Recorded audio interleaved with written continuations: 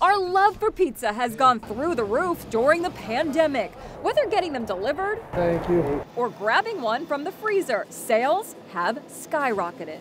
A lot of people struggled during the pandemic. Many, many people were out of work or looking to operate on tighter budgets. Pizza is a quick and easy way to feed many people for not a lot of money. Pizza has become our number one go to comfort meal. Just makes you feel good. It's comfortable food and it's something you can get quickly. I'm eating a lot of it. it it's an easy food. While countless restaurants are closing their doors nationwide, business is booming at pizza shops. Domino's even hired 30,000 new employees to keep up with demand.